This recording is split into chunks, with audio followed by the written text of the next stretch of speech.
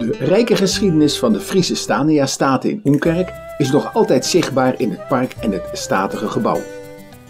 Er hebben door de eeuwen heen voorname mensen gewoond.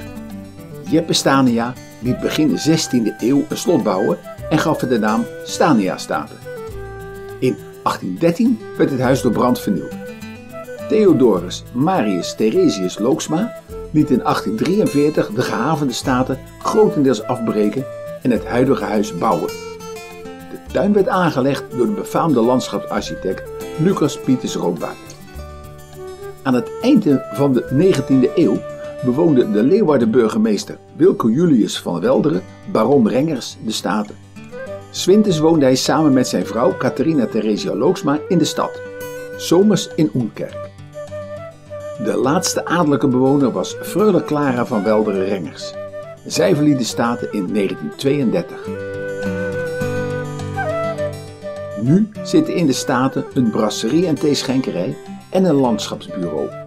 Daarvoor was er onder meer een jeugdherberg ingevestigd. In het gebouw werden medio vorige eeuw al vergaderingen en congressen gehouden.